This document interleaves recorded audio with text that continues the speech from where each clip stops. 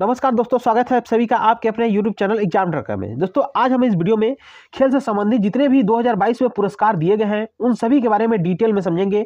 दोस्तों, पुरस्कार से संबंधित जितने भी इंपॉर्टेंट क्वेश्चन बन सकते हैं, जो एग्ज़ाम में आपके पूछे जा सकते हैं, उन सभी क्वेश्चन को इस वीडियो में कवर किया गया है। इसलिए पूरा वीडियो आप एक बार ज़रूर देखिएगा। दोस्तों, मैं आपको एक सूचना देना चाहूँगा कि हमारे इस यूट्यूब चैनल पर वीकली करंट अफेयर बहुत ही बेहतरीन लेवल का पढ़ाया जाता है। अगर आपने वह वीडियो अभी तक नहीं देखा है तो डिस्क्रिप्शन में उसका लिंक भी दे रहा हूँ, उसको जाकर ज़रूर देख लीजिएगा। तो चलिए दोस्तों, बिना किसी देरी की हुए आज का वीडियो स्टार्ट करते हैं। क्वेश्चन नंबर वन है, कौन सा मंत्रालय राष्ट्रीय खेल पुरस्कार को प्रदान करता है? तो करता है युवा एवं खेल मंत्रालय। याद रखिएगा, युवा एवं खेल मंत्रालय राष्ट्रीय पुरस्कारों को, खेल पुरस्कारों को प्रदान करता है। दोस्तों, यहाँ यह युवा एवं खेल मंत्रालय। तो युवा एवं खेल मंत्री जो है वर्तमान में है, वो है अनुराग सिंह ठाकुर। इस तरह से इस क्वेश्चन का ऑप्शन नंबर बी सही है, युवा एवं खेल मंत्रालय। नेक्स्ट क्वेश्चन है, किनके द्वारा राष्ट्रीय खेल पुरस्कार प्रदान किया जाता है? तो देते हैं राष्ट्रपति। भारत के राष्ट्रपति जो है, अपने हाथों से राष्ट्रीय खेल पुरस्कार खिलाड़ियों को प्रदान करते हैं। इस तरह से इसका ऑप्शन नंबर बी सही है। नेक्स्ट क्वेश्चन है। क्वेश्चन नंबर थ्री है, किस यूनिवर्सिटी को मौलाना अबुल कलाम आज़ाद, यानी एम ए के ए ट्रॉफी 2022 दिया गया है। तो दिया गया है गुरु नानक देव विश्वविद्यालय अमृतसर। याद रखिएगा, गुरु नानक देव विश्वविद्यालय अमृतसर को मौलाना अबुल कलाम आज़ाद ट्रॉफी 2022 दिया गया है। इस तरह से इसका ऑप्शन नंबर ए सही हो जाएगा। नेक्स्ट क्वेश्चन है, वर्ष 2022 का मेजर ध्यानचंद्र खेल रत्न पुरस्कार किस खिलाड़ी ने जीता है? तो जीते हैं शरद कमल। कौन कमल शरद कमल अचंता। याद रखिएगा, ये टेबल टेनिस खिलाड़ी है, जो कि राष्ट्रमंडल खेल में गोल्ड मेडल भी जीते थे। इसलिए इनको शरद कमल को 2022 का मेजर ध्यानचंद्र खेल रत्न पुरस्कार दिया गया है। आपको इमेज में आपको शरद कमल दिख रहे होंगे। नेक्स्ट क्वेश्चन है 2022 में कितने खिलाड़ियों को लाइफ टाइम अचीवमेंट के लिए ध्यानचंद्र पुरस्कार से सम्मानित किया गया है? तो एक किया गया है टोटल चार खिलाड़ियों को। कितने खिलाड़ियों को?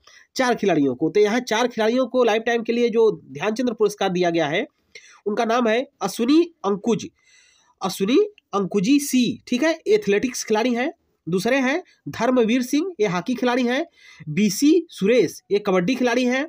और चौथे जो है नीर बहादुर गुरंगा, नीर बहादुर गुरंग, ठीक है? ये पैरा एथलेटिक खिलाड़ी हैं। इन चारों खिलाड़ियों को 2022 में लाइफ टाइम के लिए ध्यानचंद्र पुरस्कार से सम्मानित किया गया है। इस तरह से इस क्वेश्चन का ऑप्शन नंबर बी सही है।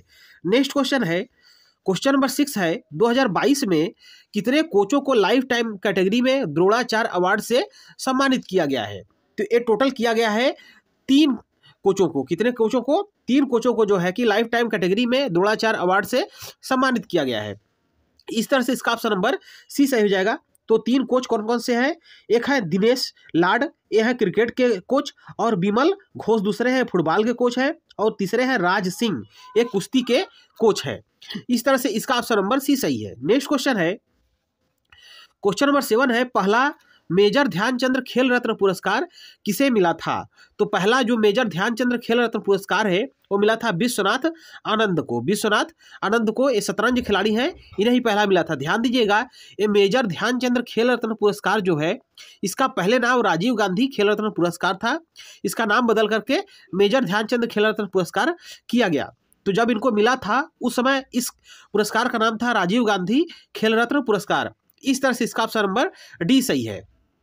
नेक्स्ट क्वेश्चन है, मेजर ध्यानचंद्र पुरस्कार की शुरुआत कब हुई थी? तो याद रखिएगा, मेजर ध्यानचंद्र खेल रत्न पुरस्कार और मेजर ध्यानचंद्र पुरस्कार, ये दोनों अलग अलग चीज़ें हैं, ठीक है? तो मेजर ध्यानचंद्र पुरस्कार का शुरुआत हुआ था सन 2002 में, लेकिन अगर पूछा जाए कि मेजर ध्यानचंद्र खेल रत्न पुरस्कार का शुरुआत कब हुआ था तो उन्नीस सौ इक्यानवे बानवे में हुआ था। जब शुरुआत हुआ था, उस समय उसका नाम राजीव गांधी खेल रत्न पुरस्कार था, ये बातें आपको याद रखना है। नेक्स्ट क्वेश्चन है। क्वेश्चन नंबर नाइन है, मेजर ध्यानचंद्र खेल रत्न पुरस्कार की? नई विजेता राशि कितनी है? तो मेजर ध्यानचंद्र जो खेल रत्न पुरस्कार है, उसकी विजेता राशि है पच्चीस लाख रुपए। कितना? पच्चीस लाख रुपए। ध्यान दीजिएगा, मैं सभी का विजेता राशि बता दे रहा हूँ। अगर द्रोणाचार्य पुरस्कार की बात किया जाए, नियमित रूप से तो दस लाख रुपए मिलते हैं। द्रोणाचार्य लाइफ टाइम अचीवमेंट के लिए अगर मिल रहा है तो पंद्रह लाख मिलते हैं। और अर्जुन पुरस्कार मिलता है तो पंद्रह लाख रुपए मिलते हैं। ठीक है? तो ये पुरस्कार राशि है। क्वेश्चन नंबर टेन है, हॉकी के जादूगर किसको कहा जाता है? तो हॉकी का जादूगर कहा जाता है मेजर ध्यानचंद्र को। मेजर ध्यानचंद्र को। इस तरह से इसका ऑप्शन नंबर बी सही हो जाएगा। आपको इमेज में दिख रहे होंगे, हॉकी के बहुत ही बेहतरीन खिलाड़ी मेजर ध्यानचंद, इसको, इनको हॉकी का जादूगर कहा जाता था। नेक्स्ट क्वेश्चन है क्वेश्चन नंबर इलेवन है, मेजर ध्यानचंद्र को भारत के प्रतिष्ठित नागरिक सम्मान पद्म भूषण से कब सम्मानित किया गया था? तो एक किया गया था इनको 1956 में। कब किया गया था? 1956 में। इस तरह से इसका ऑप्शन नंबर ए सही हो जाएगा। नेक्स्ट क्वेश्चन है, गोल किस खिलाड़ी की आत्मकथा है? गोल जो है, किस खिलाड़ी की आत्मकथा है? तो है मेजर ध्यानचंद्र की। किसकी? मेजर ध्यानचंद्र की। इस तरह से इसका ऑप्शन नंबर सी सही हो जाएगा, मेजर ध्यानचंद्र नेक्स्ट क्वेश्चन है, हॉकी खेल में, हॉकी खेल में कितने खिलाड़ी होते हैं। तो हॉकी खेल में टोटल ग्यारह खिलाड़ी होते हैं। कितने? ग्यारह खिलाड़ी। जैसा कि क्रिकेट में भी होते हैं, ठीक है? क्रिकेट और हॉकी में समान खिलाड़ी होते हैं ग्यारह ग्यारह इस तरह से इसका ऑप्शन नंबर डी सही है। नेक्स्ट क्वेश्चन है, भारत में दिया जाने वाला सबसे बड़ा खेल पुरस्कार कौन सा है? तो भारत में जो सबसे बड़ा खेल पुरस्कार दिया जाता है, वो दिया जाता है मेजर ध्यानचंद्र खेल रत्न पुरस्कार। याद रखिएगा, इसका पुराना नाम राजीव गांधी खेल रत्न पुरस्कार था, ठीक है? नेक्स्ट क्वेश्चन है क्वेश्चन नंबर फिफ्टीन है, पिछले कितने वर्षों की अवधि में किसी खिलाड़ी द्वारा खेल के क्षेत्र में शानदार और उत्कृष्ट प्रदर्शन के लिए मेजर ध्यानचंद्र खेल रत्न पुरस्कार दिया जाता है? तो ये दिया जाता है पिछले चार वर्षों में जो खिलाड़ी सबसे बेहतरीन प्रदर्शन करते हैं, उनको मेजर ध्यानचंद्र खेल रत्न पुरस्कार दिया जाता है। 2022 में शरद कमल जीते हैं, जो कि टेबल टेनिस खिलाड़ी हैं। इस तरह से इसका ऑप्शन नंबर ए सही हो जाएगा।